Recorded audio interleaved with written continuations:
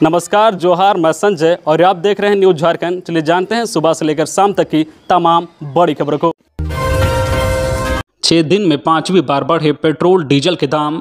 Petrol में इक्यावन व डीजल में अंठावन पैसे की वृद्धि। रांची में पेट्रोल और डीजल की कीमत में एक बार फिर वृद्धि हुई है। पेट्रोल में इक्यावन पैसे और डीजल में अंठावन पैसे की वृद्धि हुई है। अब ग्राहकों को एक लीटर पेट्रोल के लिए एक सौ एक रुपये सतहत्तर पैसे की जगह एक सौ दो रुपये अट्ठाईस पैसे खर्च करने होंगे। वही एक लीटर डीजल के लिए लोगों को अब चौरानवे रुपये इक्यानवे पैसे की जगह पंचानवे रुपये उनचास पैसे देने होंगे। नई कीमतें आज रविवार की सुबह छः बजे से ही लागू हो गई है। झारखंड में पिछले 24 घंटे मिले 10 नए कोरोना संक्रमित। झारखंड के 19 जिलों में कोरोना के एक भी मरीज़ नहीं मिले हैं। बावजूद राज्य में कोरोना मरीजों के मिलने का सिलसिला जारी है। राज्य में पिछले 24 घंटे में कोरोना से मात्र आठ लोग स्वस्थ हुए हैं। इसके विपरीत राज्य के पाँच ज़िले में कोरोना के दस नए मरीज़ मिले हैं। धनबाद में सबसे अधिक छह नए केस मिले हैं। राज्य में कोरोना के सक्रिय अठहत्तर मामलों में सबसे अधिक बत्तीस रांची में सक्रिय हैं। स्वास्थ्य विभाग के अनुसार धनबाद से छः बोकारो से एक, हजारीबाग से एक खुंटी से एक और कोडरमा से एक मरीज़ मिले हैं। प्राइमरी क्लास में दाखिले के लिए पाँच अप्रैल से अभियान ड्रॉप आउट रोकने के लिए शिक्षा विभाग कर रहा यह काम। झारखंड में पाँच अप्रैल से स्कूल चले चलाएँ अभियान चलेगा। यह अभियान चार मई तक चलेगा। इसमें प्राइमरी स्कूलों के बच्चों को शत प्रतिशत नामांकन सुनिश्चित किया जाएगा। कोरोना की वजह से दो साल बाद बच्चे स्कूल जा पा रहे हैं। ऐसे में उनके लर्निंग लॉस को कम करने के लिए समुदाय को भी संवेदनशील बनाएँगे। बच्चों के माता पिता अभिभावक, शिक्षक और विद्यालय प्रबंधन समिति के आपसी समन्वय से इसे पूरा किया जाएगा। इसके लिए झारखंड शिक्षा परियोजना परिषद की राज्य परियोजना निदेशक किरण कुमार पासी ने सभी जिलों को निर्देश दे दिया है। मुख्यमंत्री ने केंद्र से फिर मांगा झारखंड का बकाया।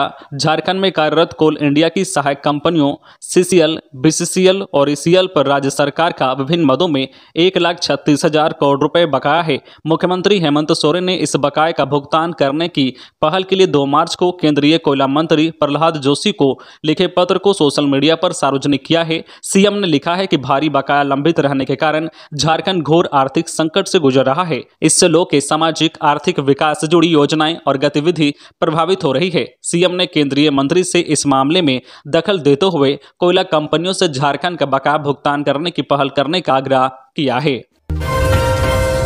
झारखंड के पलामू में सनसनीखेज वारदात, पिता महिला को लेकर हुआ फरार, पति ने आवाज़ उठाई तो दो बेटों ने फांसी पर लटकाया, जाँच शुरू। झारखंड के पलामू में सनसनीखेज मामला सामने आया है। आरोप है कि एक व्यक्ति को दो लोगों ने फांसी पर लटकाकर मारने का प्रयास किया। मामला ज़िले के पाटन थाना क्षेत्र के पाल्हे गाँव का है। मुकेश कुमार मेहता नाम के व्यक्ति को अपने हक की आवाज़ उठाने के बदले तालिबानी तरीके से सजा देने की कोशिश हुई है। आरोप गाँव के ही रहने वाले रवि पासवान और शशि पासवान पर लगा है, पुलिस इनकी तलाश कर रही है।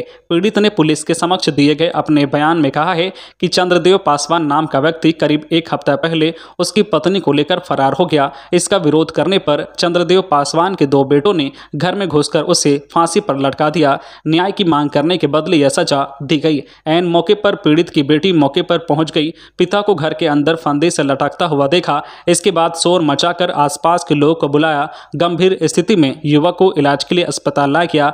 फ़िलहाल उसकी स्थिति नाजुक बनी हुई है। घटना रविवार की सुबह करीब सात बजे की है।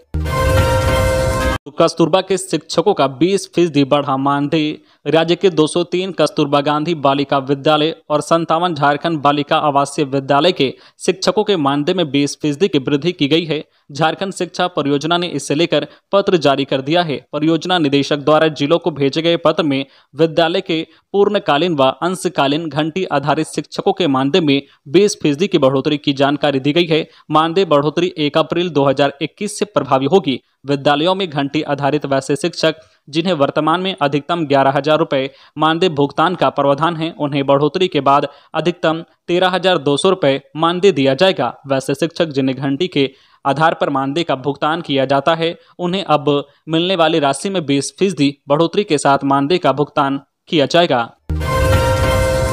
स्कूलों में परीक्षाएँ खत्म होने के बाद ही होगा पंचायत चुनाव। स्कूलों में होने वाली नौवीं मैट्रिक और इंटर की परीक्षा समाप्त होने के बाद ही पंचायत चुनाव कराया जाएगा, क्योंकि स्कूलों में ही मतदान केंद्र बनाए जाते हैं। ऐसे में परीक्षा के दौरान चुनाव कराने के लिए स्कूल भवनों को लेना संभव नहीं होगा। वही परीक्षा के दौरान शिक्षकों की भी ड्यूटी रहती है, जबकि शिक्षकों को पंचायत चुनाव कार्य में लगाया जाता है। इस पर राज्य निर्वाचन आयोग मंथन कर रहा है। आयोग सभी तरह की परीक्षाओं का शेड्यूल देख रहा है। जब स्कूल और शिक्षक खाली होंगे, तभी पंचायत चुनाव कराया जाएगा। फ़िलहाल 20 अप्रैल तक मैट्रिक और 25 अप्रैल तक इंटर की परीक्षा होगी। इसके बाद नौवीं की परीक्षा होनी है। हालाँकि नौवीं की परीक्षा के लिए तिथि की घोषणा अब तक नहीं हुई है। परीक्षा शेड्यूल में शिक्षकों के साथ दंडाधिकारी व पुलिस बल भी तैनात किए जाते हैं। ऐसे में उनकी उपलब्धता भी देखी जाएगी। इस दौरान पर्व त्यौहार की तिथियाँ भी देखी जाएगी। इस बात का भी ख्याल रखा जा रहा है कि चुनाव से किसी भी हाल में विद्यार्थियों की परीक्षा बाधित न हो। 31 मार्च को खत्म हो जाएगा। 231 पत्थर खदानों का लीज। राज्य की 231 पत्थर खदानों का लीज 31 मार्च 2022 को समाप्त हो जाएगा। खान विभाग इन जो है खदानों की नीलामी की तैयारी में है। इस माह अब तक 60 पत्थर खदानों की नीलामी के लिए टेंडर भी जारी कर दिया गया है। इकतीस मार्च तक करीब 100 खदानों का टेंडर जारी हो जाएगा। बताया गया है कि जैसे जैसे खदानों की भूतात्विक रिपोर्ट बनकर आ रही है, वैसे वैसे खान विभाग नीलामी का टेंडर जारी करता जा रहा है। इधर झारखंड राज्य पत्थर व्यवसायी संघ राज्य सरकार से लगातार लीज की अवधि बढ़ाने की मांग कर रहा है। संघ के सचिव पंकज सिंह ने कहा है कि इसको लेकर मुख्यमंत्री से आग्रह किया गया है। वर्ष 2020 में जब लीज समाप्त हो रहा था, तब जो है इसी सरकार ने दो वर्ष का एक्सटेंशन दिया था। पर एक्सटेंशन मिलते ही सीटीओ व अन्य जो है प्रक्रिया में समय लग गया। इस दौरान कोविड काल भी आ गया। इस कारण खदानों में काम शुरू भी नहीं हुआ कि दो वर्षों की अवधि पूरी हो गई। हैदराबाद में सड़क हादसे में गिरिडीह के मजदूर की मौत। ग्रैंड होटल में करता था काम। ऑटो ने मारी टक्कर। इलाज के दौरान तोड़ा दम। झारखंड के गिरिडीह के गांवा इलाके के महेशपुर गाँव के रहने वाले मजदूर कपिल यादव की हैदराबाद में हुए सड़क हादसे में मौत हो गई। घटना के बाद से परिवार सदमे में है। मजदूर का शव शनिवार देर रात पैतृक गाँव पहुँचा। परिजनों का रो रो कर बुरा हाल है। रविवार को मामले की सूचना मिलने के बाद गाँव के लोग की भीड़, पीड़ित परिवार को संतावना देने पहुँच गई।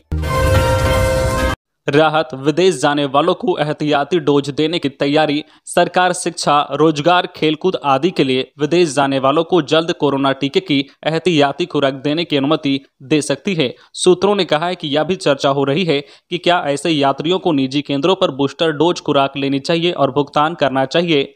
मंत्रालय को आधिकारिक, शैक्षणिक और व्यावसायिक प्रतिबाध्यताओं में शामिल होने के इच्छुक लोगों के लिए एहतियाती खुराक की अनुमति को लेकर आवेदन प्राप्त हुआ है। हालाँकि स्वास्थ्य मंत्रालय की ओर से कोई आधिकारिक निर्देश जारी नहीं किया गया है। मौजूदा निर्देशों के तहत दूसरी खुराक दिए जाने की जो है तारीख से नौ महीने बाद जो खुराक दी जाती है।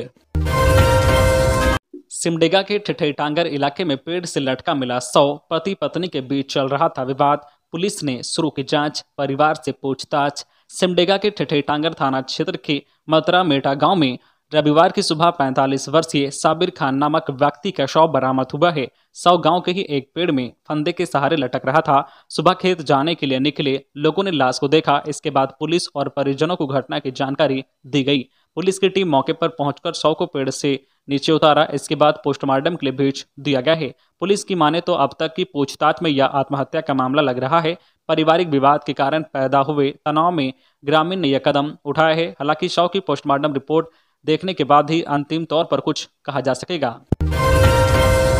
सूबे के 635 प्लस टू स्कूलों में सृजित होंगे नए पद। झारखंड के 635 प्लस टू स्कूलों में नए विषयों के शिक्षकों के पद सृजित किए जाएँगे। 510 प्लस टू विद्यालयों में 11 विषयों के शिक्षकों के पद सृजित हैं, जबकि 125 नए प्लस टू स्कूलों में इतने ही शिक्षकों के पद सृजित किए जा रहे हैं। इसके अलावा कई ऐसे विषयों के शिक्षकों के पदों का भी सृजन होगा, जो अब तक नहीं पढ़ाए जा रहे हैं। इनमें राजनीति शास्त्र समाज शास्त्र दर्शन शास्त्र हो, मोंडारी, नागपुरी, संथाली, कंप्यूटर साइंस समेत अन्य विषयों के शिक्षकों के पदों के सृजन की प्रक्रिया शामिल होगी। इसके लिए सभी जिलों में स्कूली शिक्षा व साक्षरता विभाग ने रिपोर्ट तलब की है। तो ये थी आज की झारखंड की टॉप बड़ी खबरें। इसी तरह झारखंड की हर छोटी बड़ी खबर देखने के लिए आप हमारे चैनल न्यूज़ झारखंड चैनल को सब्सक्राइब करके बेल आइकन प्रेस कर दीजिए, जिससे आपको झारखंड की हर छोटी बड़ी खबर का अपडेट आप तक पहुँचता रहे। तो आज के लिए बस इतना ही। हमें दीजिए इजाज़त। फिर मिलते हैं नेक्स्ट न्यूज़ में।